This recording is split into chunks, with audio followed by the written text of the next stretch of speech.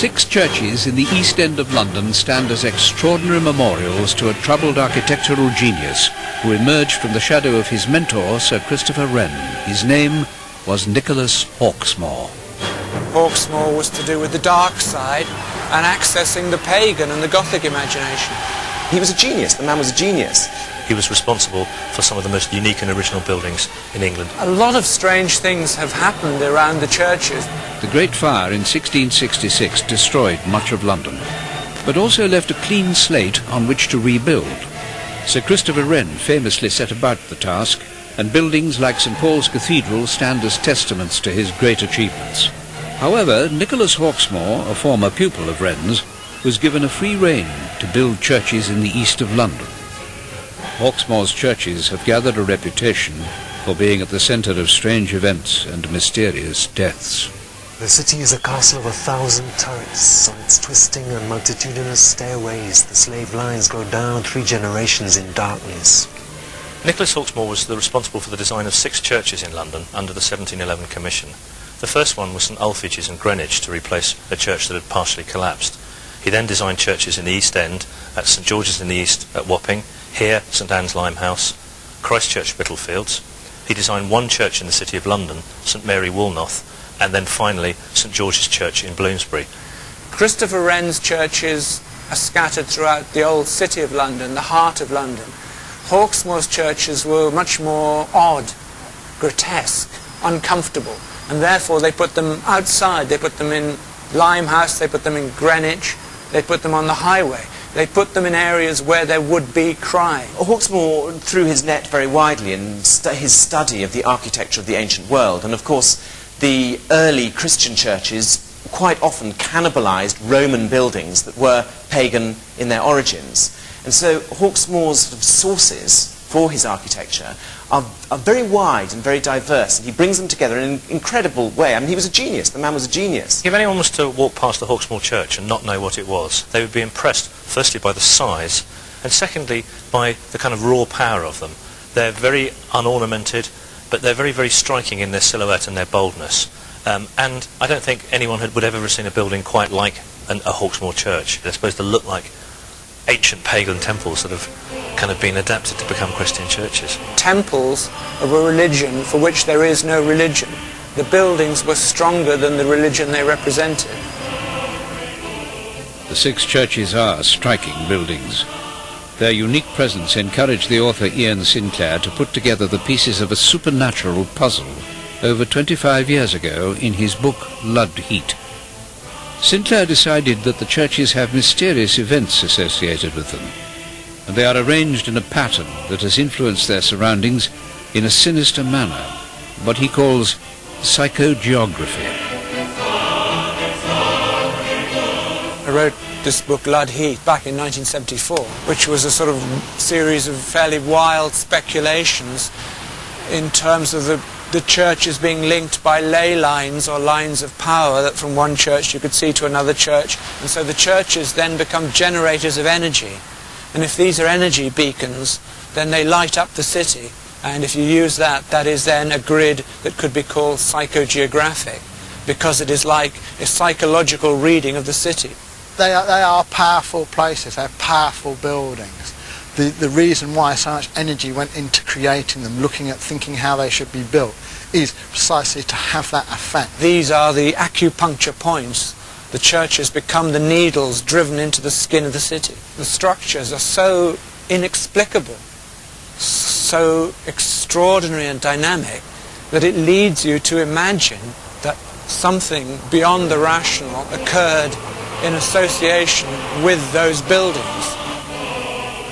Other writers have been drawn to London's enigmatic architect. In his novel, Hawksmoor, Peter Ackroyd cast him as a villain. Peter Ackroyd, when he wrote his novel Hawksmoor, took the whole thing one stage further and suggested that Hawksmoor was actually a believer in a pagan religion which involved sacrificing a child and burying one in the foundation of each of the churches. What you've really got to remember about these churches, the most important thing perhaps, is, is the age in which they were built.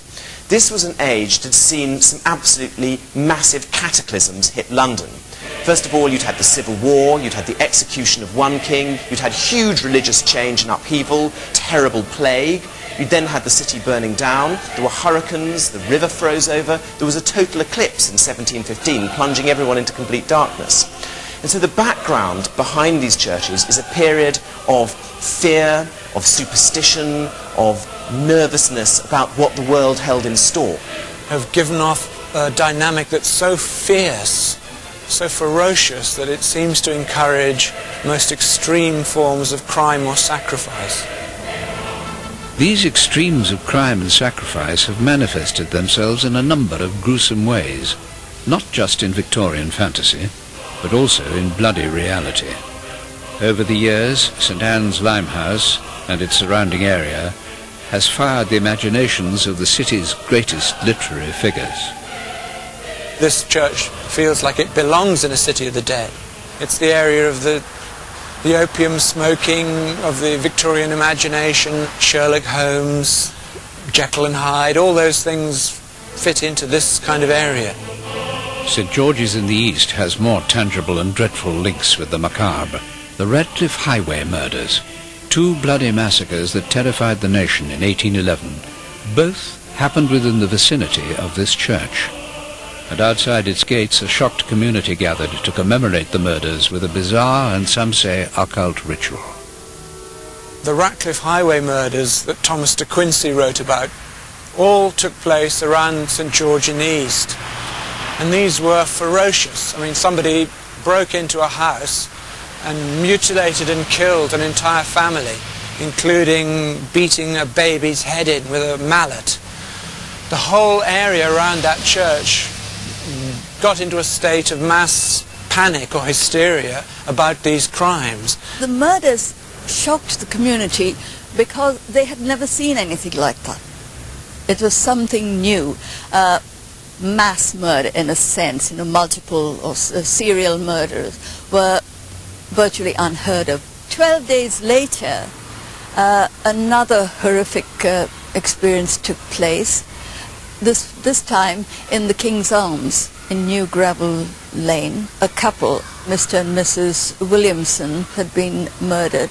Not only had they been uh, struck about the head, but they had been slashed, their throats had been uh, cut, so much so that the, the, the heads were practically off their bodies. The whole country was in a frenzy. The king himself ordered more guards on duty at the palace. But four days later, with panic at fever pitch, there was an arrest. John Williams, a young sailor, was charged with the murders. There was little evidence, but with emotions in the area running high, police needed to catch someone and catch them fast. Then, in an event never witnessed before or since, the community took justice into its own hands. A man called John Williams was arrested for the murder. He never came to trial because he committed suicide. So a ritual device was enacted whereby this man's body was put on a cart with the murder weapons and paraded through the streets. Williams was brought to this crossroads and, and about where that manhole cover is they dug a pit. They drove a stake through his heart and they cut off the head. Now by rumour the skull was kept in a pub called the Crown and Dolphin. The only remaining memory of this horrific episode in London's history is a gravestone that rests at St George's in the East. It belongs to the first victims of the murderer, the Marr family. This gravestone is one of the most significant finds that uh, we've had in recent history, sacred to the memory of Mr. Timothy Marr, aged 24 years, and also his wife, Mrs. Celia Marr and also their son, Timothy, aged three months. Hawksmoor's Church in Bethnal Green, Christchurch, Spitalfields, also has grim connections with death, particularly the plague. Christchurch, Spitalfields would be in an area that was a Roman burial ground and a place of the plague dead. And so in a sense, it is on a reservoir of death.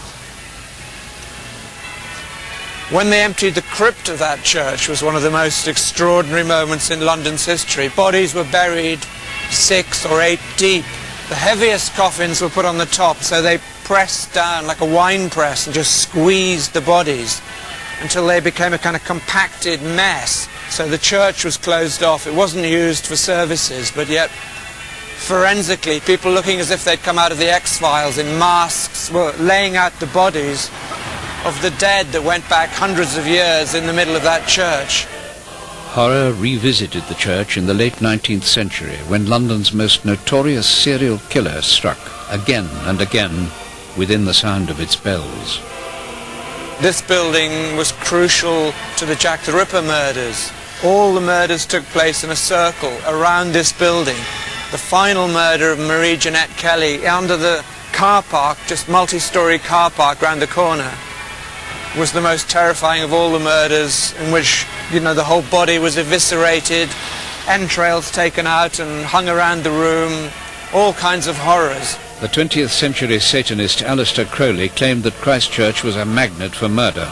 The magician Aleister Crowley wrote an essay in which he suggested that whoever committed these murders arranged the bodies in the five spots around the church to make up a pentacle which would then confer invisibility on the murderer.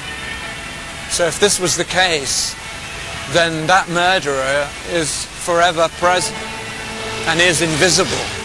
The modern era seemed to have laid these horrors to rest, but then in 1974 a murder revived memories of the era of Jack the Ripper. This time it was Hawksmoor's Church, St George's in the east that was the focus. Iain Sinclair remembers the incident vividly. Cannon Street Road, looking back down towards these dingy shops. That is where this man called Abraham Cohen, when I was working here, had a tiny little kiosk of a shop selling odds and ends and one day he's found murdered, his body is on the pavement, and there are coins placed exactly at his feet, as they were with one of the Jack the Ripper murders. And the curious thing is that nothing was stolen, but if you went into the shop behind, inside old cocoa tins was something like £250,000 rolled up in money. How he got that money, why the money was left behind, why the coins were put at his feet, you know, nobody knows. But yet again, the pattern is there, strange rituals, missing heads, curious coins, and a possible connection to a Hawksmoor church. It happens time and time and time again. For believers in the Hawksmoor legend, the root of the mystery lies in the architect's conception of his churches. The inspiration in their design is otherworldly, derived from ancient, brutal pagan civilizations he was obsessed with the wonders of the ancient world. He was obsessed with the seven wonders of the world. And he drew his inspiration from a whole series of buildings that he'd never seen before, that he'd read about, which existed in the Middle East. And he drew his inspiration from these, and he put that inspiration into the churches. If you look at St. George's Bloomsbury, sitting on the top of that is a pyramid. Bizarre, weird thing to, to do. Pyramids feature quite strongly in, in what Hawksmoor's doing. In fact, at St Anne's, they've pyramid, which is originally meant to be at the top of the tower, has been taken down and is now in the graveyard below. Uh, the, the pyramid sort of relates back to ancient Egypt, of course. That is one strand of it. Then another strand, in more contemporary terms, we can see on the American dollar the pyramid with the eye in the pyramid, which is a Masonic symbol. So it relates straight back to, to Freemasonry. Some take this further, believing that a curse has somehow been transported to the present from the distant past if Hawksmoor designed these buildings by using plates from libraries that were to do with older buildings,